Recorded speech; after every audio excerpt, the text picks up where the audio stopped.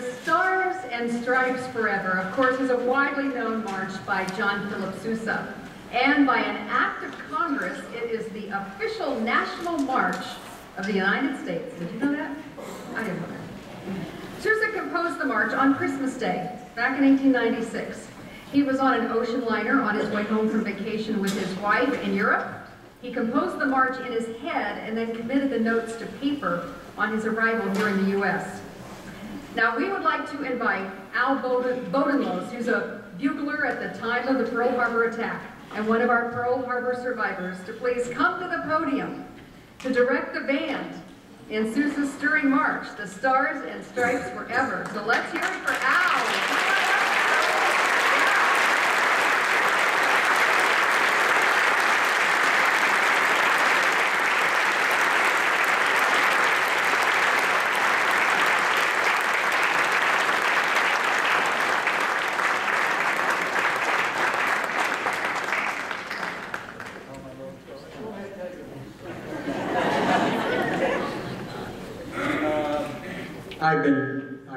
Blessed and honored to tell you a little funny story about myself that I already had told the band earlier. When I was in junior high, I was thrown by the band room and a trumpet player was playing and practicing a solo. And I thought, gee, I'd like to play the trumpet. So when I got home, I asked my dad if he could buy me a trumpet. Well, those were the depression years. But anyway, in three weeks, he come home with this tarnished, beat-up old trumpet. Well, without money for a teacher, I had to teach myself. And as many of you know, that when you're real excited about whatever it is, you excel. And if you forgive me, I did excel. I joined the high school band, and uh, uh, in my senior year, and I studied uh, the, uh, the different instruments, the French horn, the baritone, percussion. I wanted to be a music teacher and above all, a band director. And when I graduated, I wanted to go to college, but the depression years, my parents had a little money and I had none. So I decided to join the Army. I was sent to Fort Ord, California. When they checked my record, they said, oh, you're a trumpet player. You are going to be the battalion's master bugler and a teacher of three other buglers, which I did. Uh, I taught them to play all the daily calls, starting with Reveille at 6.30, Chow Call, and so on. Well, even though I was the teacher, I had to take my turn every four days as the daily bugler.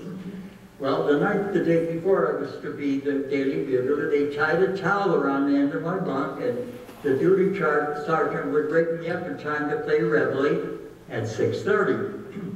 Now, during the night, I was awakened by noise in the background, the first sergeant's store was open at crack and they were discussing picking up brand new trucks for the battalion.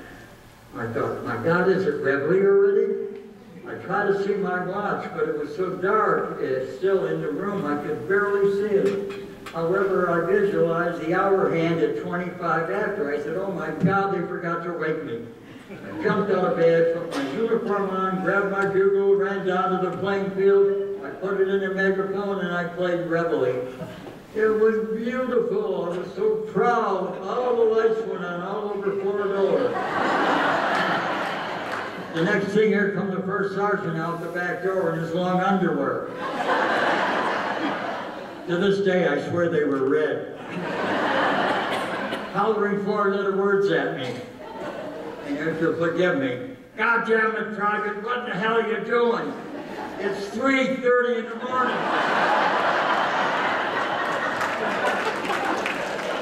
At 128 pounds after I stopped shaking, he ordered me to turn all those lights out and then go back the next morning to apologize to all the first sergeants, which I did. Well, it wasn't long after that I was transferred to Hawaii. They checked my record and saw that I was a master bugler. I guess the first sergeant at Fort Ord had sent a kind of nice letter explaining my expertise as a teacher and a bugler, bugle master. At the bottom of the letter, though, he had P.S. The only thing is he doesn't know how to tell time.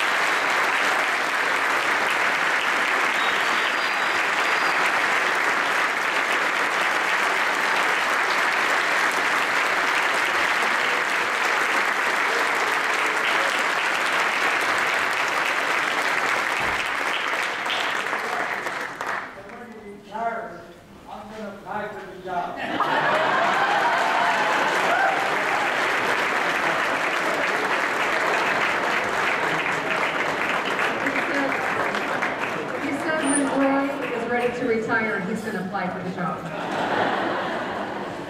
Very well done, very well done. Thank you, Mr. Bodenlos, and we appreciate all of you from the Pearl Harbor survivors. You have just made this afternoon's concert one we will never forget. Very, very good.